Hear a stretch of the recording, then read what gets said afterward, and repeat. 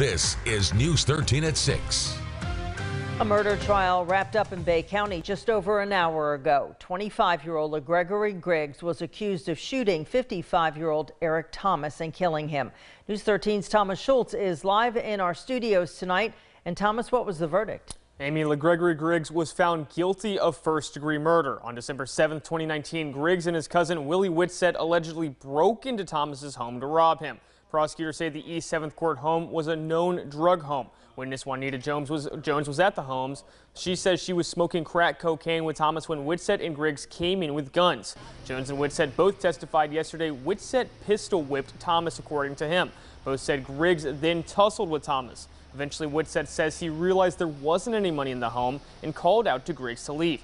That's when they say Thomas grabbed, grabbed Grigges' leg and Grigges shot him five times. But today, Grigges says he never entered the home. After being arrested, Grigges says he lied to police about the crime. Prosecutor Peter Overstreet thought Grigges was lying again today.